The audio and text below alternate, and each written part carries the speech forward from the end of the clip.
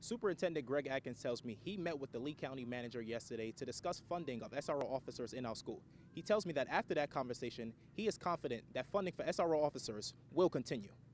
How are your tax dollars being spent? A question that now has an answer. We have a lot of maintenance projects, the air conditioning, uh, windows, that type of thing. Today, a news conference was held to show you, the voters, where the half cent more you are paying is going. This gives us an opportunity to, to literally report to the community and seeing their tax dollars in action. At the last workshop meeting, county commissioners proposed coming up with ways to continue funding the placement of officers within schools, which right now is costing the county 3 million. Yesterday, the superintendent of Lee County Schools met with the county officials to discuss ways funding can still come from the county without having any effects. We would have to make uh, reductions in our current budget to make that happen, which is, would most likely impact uh, the classroom. If the county money were to go elsewhere, the district will have to make up the shortfall. But district officials are confident county leaders want to keep kids safe. I came away from that really believing that our, our county is certainly uh, continues to be very supportive of funding SROs across our district.